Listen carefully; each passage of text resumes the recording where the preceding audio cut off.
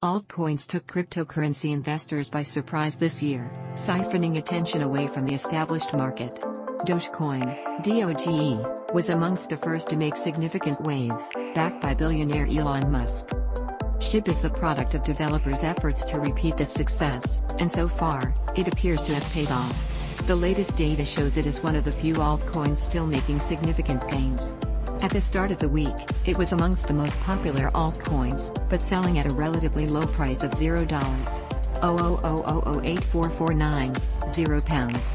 0000062. Since then, it has made strides through the market, reaching $0. 0001711, 0 pounds. 00013, today. SHIB's 7-day growth rate is 230. 32% allowing it to claim the 20th largest market value amongst its fellow altcoins. Read more, Musk humiliated, Bitcoin soars after Tesla chief writes off coin on October 4. He posted a picture of his new puppy to Twitter, hailing the arrival of Floki Frog Puppy. The tweet followed two others earlier this year when Mr. Musk, CEO of electric car manufacturers Tesla, anticipated the, the puppy is of the breed from which Shiba Inu coin takes its name. In the hours following the tweet on Monday, the coin started its impressive rally.